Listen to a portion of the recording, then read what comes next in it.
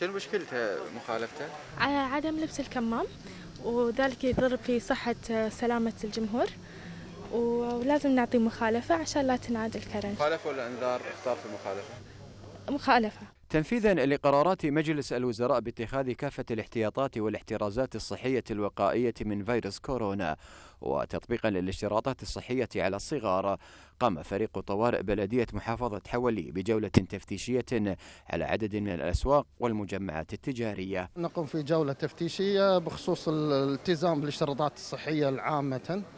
ونقوم في تفتيش المحلات الخاصة في الأطفال والأماكن الترفيهية اللي مختصين فيها. إذا كان الملابس الكمام نقوم في آه، مخالفته. نركز على الكمامات ونركز على دخول المجمعات نفسها أنهم يقومون في وضع آه، آه، قياس الحرارة طبعا. ويكون على أساس أنه في الكود اللي هو من ضمن أنه يكونون هم مطعمين الجولة ركزت على التأكد من إغلاق كافة الأنشطة الخاصة بألعاب الأطفال بعد أن دخل القرار حيز التنفيذ.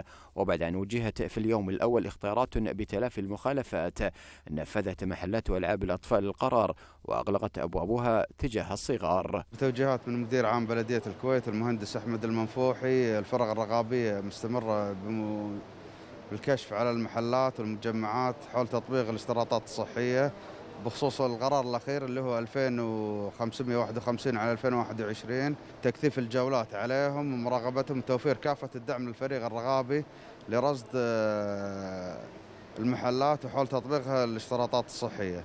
اليوم خالفنا مخالفتين تشغيل المحل على نحو يهدد صحة سلامة الجمهور لعدم التقيد لمحلين بالاشتراطات الصحية. وجاري طلب غلق إداري فيهم من قبل الإدارة. والفرق الرغابية طبعا آه، قامت بالأمس بجولات ميدانية وأعطتهم منذارات واليوم يطبق فيه المحاضر مخالفات.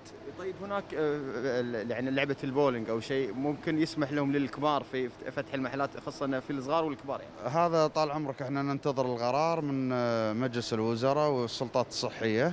لما تأتي فيه يعني قرار إن شاء الله نطبق اللي يبون. ميدانية مكثفة يعني باستمرار؟ مستمرة ومو مكفين إحنا خلال الأعياد والعطل وفترة صباحية ومسائية، في حال صدور أي قرار جديد قاعد يلتزمون مثل ما أنتم شايفين الجولة اللي طلعنا فيها، عدد كبير من المحلات ملتزمة والله جزاهم خير. جولة بلدية محافظة حولي حررت عدة مخالفات تجاه عدد من المحلات لعدم التزام أصحابها بلبس الكمامات وهو ما يخالف قرارات مجلس الوزراء. بلدية محافظة حولي تقوم بجولات تفتيشية على الأسواق والمجمعات التجارية للتأكد من تطبيق كافة الاشتراطات الصحية وإغلاق محلات ألعاب الأطفال. أحمد العنزي لقناة اي تي في العدالة.